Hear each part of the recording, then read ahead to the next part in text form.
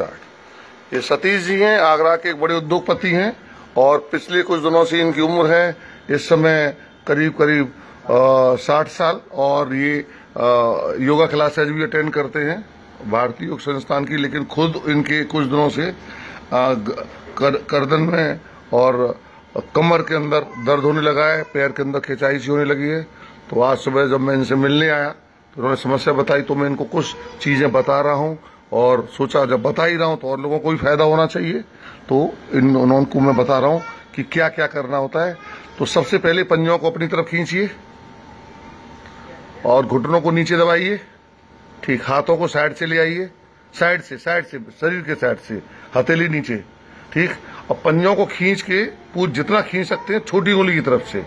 छोटी उंगली छोटी उंगली। आपके पैर जब उम्र के साथ साथ ये पैर ऐसे टेढ़े होने लगते इस तरह से।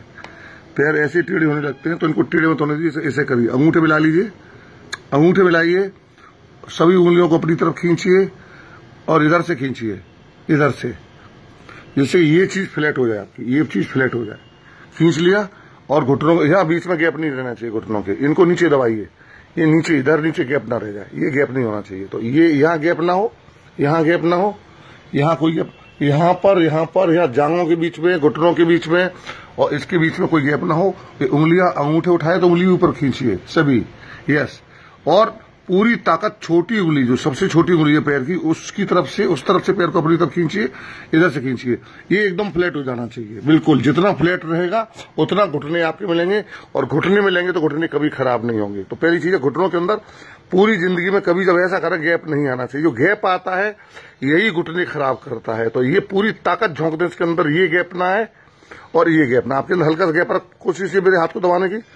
मेरे हाथ को इतना प्रेस की इसके हाथ का पापड़ बन जाए। यस इसको दबाइए पूरा? यस ये और ये दोनों दबने चाहिए।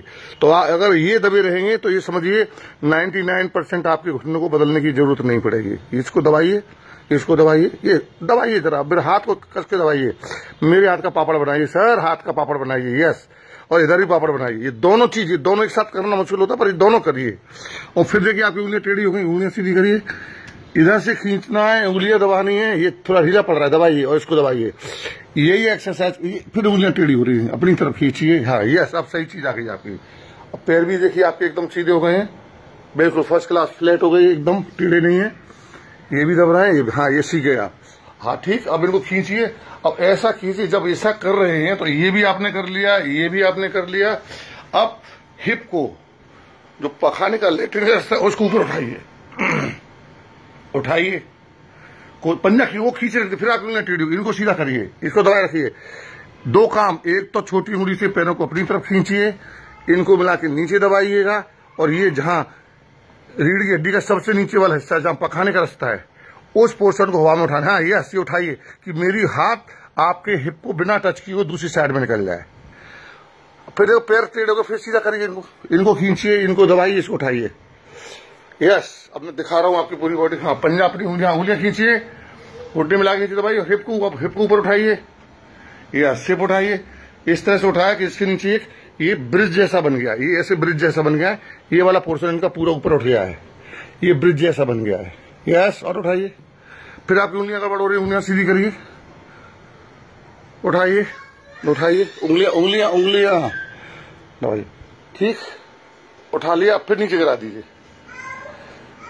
फिर दोबारा करिए। हाँ उंगलियाँ। उंगलियाँ उंगलियाँ। मिला के नीचे दबाइए, इसको उठाइए। जब उठ जाए, ये हो गया, हवा निकल गई आपकी।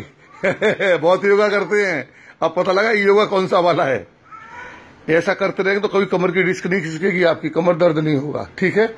अब एक तो एक्सरसाइज ही हो गई। दूसरा, घुटनों को मोड़ लीजिए। हिप को हील को हिप के पास ले आइए। पूरे जितना ला सकते हैं, घुटना। अब दोनों घुटने में ला लीजिए। फिर वही चीज़, गैप कहीं नहीं आएगा। ये गैप खत्म करिए। और एड़ी नहीं उठनी किसी भी कीमत पर एड़ी नहीं उठेगी आपकी। और ये खुलेगा नहीं। अब फिर उसी हिप को हवा में उठाइए। ये नहीं खुलना चाहिए। और एड़ी नहीं उठनी चाहिए। एड़ी नहीं उठेगी। और घुटनों के बीच में गैप नहीं आएगा बिल्कुल घुटने मिले हुए हैं। और ये और ये नीचे जो पोर्शन है आपका, हिप वाला, ये, यहाँ यहाँ मेरी जितना ऊँचा यहाँ ज़ोर लगाएँगे, जो पखाने का रास्ता है, उसको ऊपर, पूरी ताकत से ऊपर खींचिए। यस घुटने मिला के रखिए, एड़ी दबी हुई है।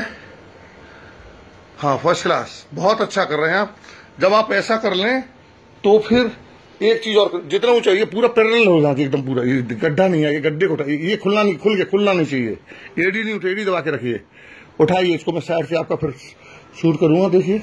यस हाँ नीचे बिल्कुल, आपके नीचे बिल्कुल भी एकदम खाली है। एकदम और ऊँचा उठाइए इसको, और ऊँचा उठाइए। फिर नीचे ले जाइए। धीमे धीमे से, झटके से नहीं, धीमे से। दस बार ऐसा करिए। घुटने खुल रहे हैं, घुटने मिलाइए, एडी दबा के रखिए। हाँ हाँ। उठाइए।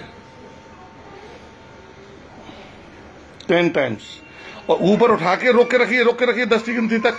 मनी मन में दस की और उठाइए ऊँचा उठाए रखते रहिए पूरी ताकत लगाए रखिए। और मनी में दस गिने दस गिन जाए फिर इसको नीचे गिरा दिए हल्के से यस अच्छा अब आपने कर लिया थोड़ा सा चेंज क्या करना है? ये एडी दबा के रखिए घुटने मिला के रखिए। अब आप कमर को इस साइड में थोड़ा उठाइए ऊपर। अब इसको कमर को ट्विस्ट करिए एक साइड में यस मुँह नहीं मुँह मुँह ही रहेगा मुँह वही रहेगा। मुँह वही रहेगा मुँह नहीं हिलेगा। हाँ, इधर ट्विस्ट करिए फिर दूसरी साइड में ट्विस्ट करिए। हाँ इधर ट्विस्ट करिए। फिर दूसरी ट्विस्ट करिए। इधर ट्विस्ट करिए। हाँ जब थक जाए तो बीच में लाके नीचे गिरा दीजिए। थक जाए तो नीचे बीच में लाके नीचे गिरा दीजिए यस अब मैं अब मैं इंस्ट्रक्शन में बोलता रहूँ फिर उठाइए फिर। फिर एक साइड ले जाइए। फिर सेंटर में लाइए। फिर दूसरी साइड ले जाइए। फिर सेंटर में लाइए। फिर बीच में गिरा दीजिए। यस ये एक्सरसाइज समझ आई आपकी में? अच्छी तरह से? ये बहुत अच्छी एक्सरसाइज है। इसको ब्रिजिंग कहते हैं। ब्रिजिंग एंड फिर उसके बाद जो इधर उधर रहा तो उसको रोटेशन ब्रिजिंग कहते हैं। ये रीढ़ की हड्डी के लिए दुनिया की सबसे अच्छी एक्सरसाइज है। डिस्क लेफ़्ट के लिए आप बहुत लंबी ड्राइविंग कर रहे हैं। पहाड़ पर ड्राइविंग कर रहे हैं। लोग घंटों बैठा रहना पड़ता है। तो आप कहीं भी जो समय, जगह मिले वहाँ लेट कर एक्सरसाइज करिए। फिर एकदम सीधे से पैर पैर खींचिए। वेरी गुड समझ में आ गया आपकी अच्छी तरह से? अब अगली एक्सरसाइज पंजा अपनी तक कोई खींच के रखिए। घुटना एकदम सीधा रहेगा आपका। घुटना दबा के रखिए और एक टांग को तेज़ी से, जैसे बंदूक की गोली छूटती है, उस तरह से घुटना नहीं मुड़ना चाहिए, पंजा खींचा रहेगा। ठीक है? हाँ देखिए घुटना मुड़ जाता है आपका, घुटना नहीं मुड़े। बंदूक की गोली की तरह से तेज़ी से आप ऊपर की तरफ़ खींच के ले जाए, जितना पीछे ले जा सकते हैं। हाथ साइड से, बॉडी की साइड से। चल झटके से। झटके से लें। नहीं नहीं, एक बार में एक टांग, एक बार दूसरी बार, दूसरी टांग। हाँ। देखिए, पंजा खींच के रखिए, पंजा ढीला नहीं होना चाहिए। हाँ हाँ। और कोशिश करें कि वो एकदम जितना पीछे ले जा सकते हैं। ये घुटना मोड़, जब पीछे ले जाएँगे तो घुटना मुड़ेगा। पंजा खींच के रखिए, कभी कभी पंजाब का ढीला हो जाता है। हाँ। वेरी गुड बहुत अच्छे बहुत अच्छे। आपका इधर वाला लेफ़्ट वाला घुटना मोड़ जाता है। पंजा खींच के, पंजा ढीला, पंजा खींच के रखिए। यस समझ में आ गया आपकी में? कर लेंगे अब आप। इसको करते रहिए। जितना पीछे ले जाएँगे, उतना आपके लिए हित कर रही रहेगा। अब फिर दोनों घुटने मोड़िए, तेज़ी से। मोड़ ली दोनों घुटने मिलाइए। अब दोनों घुटनों को, घुटने के ऊपर घुटना, पैर के ऊपर पैर। हाथ को थोड़ा और खोल लीजिए, ठीक। इसको ज़मीन से सट करिए, टच करिए। मुँह दूसरी साइड, मुँह दूसरी साइड के अंदर। पैर के ऊपर पैर रख लीजिए। दबाइए ज़ोर से। यस, पूरा। नीचे का घुटना ज़मीन को दबाएगा, पलंग को, और ऊपर वाला घुटना नीचे वाले घुटने को दबाएगा, पूरी ताकत से। और ऊपर, उधर का कंधा नहीं उठना चाहिए, उधर का कंधा दबा के रखिए, और उधर मुँह मुँह, उधर का कान ज़मीन से दबाइए, उस साइड का। और कंधे को दबा के रखिए। तो आपकी ये बहुत बढ़िया पोस्टर है, हाथ को थोड़ा सा और खोलने का पलंग में जगह नहीं है तो जहाँ तक है वहाँ तक। ठीक तो ये आपकी पोस्टर बहुत अच्छी पोस्टर है। अब आप इसका रिवर्स करेंगे। बिल्कुल, मुँह साइड में ले आइए। उधर घुटने के ऊपर घुटना दबाइए, पैर के ऊपर, पैर के ऊपर पूरे एडी एडी पैर रख लीजिएगा। और इसको हाँ इधर कंधा, इधर का कंधा दबा के रखिए। इधर कंधा नहीं उठना चाहिए। और इधर के कान को इधर दबाइए। वाह वेरी गुड बहुत अच्छा किया आपने। अब इसको धीमे धीमे रिपीट करिए। उधर कान कान उधर ले जाइए। कंधे के ऊपर कंधा, घुटने के ऊपर घुटना। बिल्कुल इसी तरह से पैर सही, बहुत अच्छा किया आपने। अरे वाह! ये योग करते हैं आप उसका। नतीजा आपकी बॉडी बहुत साठ साल की उम्र में बहुत अच्छी फ्लेक्सिबिलिटी है।